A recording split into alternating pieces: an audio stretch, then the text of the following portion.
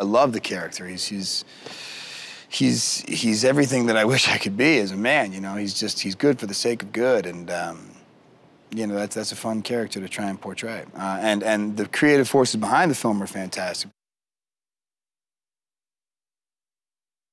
The world around him is a different place. Uh, you know, he's from a different era, and I think that era really defines who he is. Uh, I think the modern day is a bit more flash and style and uh, a bit more selfish and a bit more impersonal. You know, there's uh, a lot of technologies that put blocks in between people. And, uh, you know, the 40s, there was much more of a, maybe a direct and honest sincerity to the way people behaved. And, and I think human interaction breeds uh, manners, you know, and just, uh, you know, it's, it's, it's, it's a way of life that I think um, Steve has uh, Steve had just become accustomed to, and it's just it's a different world that he has to get used to.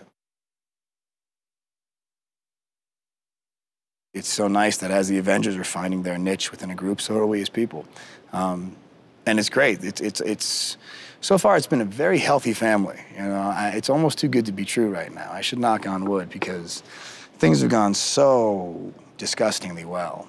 It's almost, like I said, it's almost unbelievable. I, it's I hope it lasts, you know, because we get along so well. There's not, and I, I said this earlier, one bad apple could, could spoil the bunch. You know, you get one stick in the mud and it changes the dynamic. I think everybody in this cast is so fantastic. We get along so well.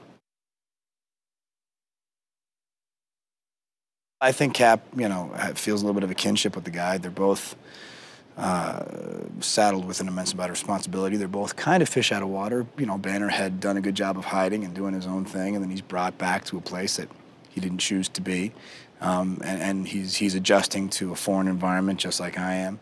So I think there are similarities to their characteristics, but or to their situation at least. And I, I think, I think for the most part, you know, I feel like Cap treats is kind of like a parent in a lot of ways. You know, I think he just looks out for people. Um, Banner is obviously in a sensitive situation, so I think Cap is doing what he can to make him feel comfortable and, and adjusted. Um, and Ruffalo, I can't I can't say enough about Ruffalo. He's just he's fantastic. He's one of those actors that's like a, uh, he's like he he throws himself into it.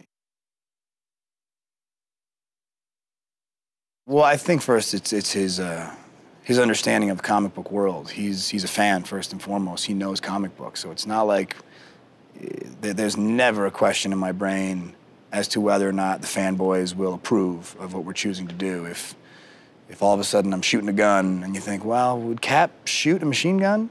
If Joss said it's okay, it's okay, um, you know, because he is that demographic. And second, it's his passion. This is, like you said, it's a tricky task to bring all these characters together. It's a tall order. You couldn't do this movie if you didn't absolutely love this genre. You know, you couldn't have a director, talented as you want to find one, if he wasn't in love with this style of filmmaking, the comic book characters and crazy sets and superpowers and things like that. Joss, I think, just eats it up.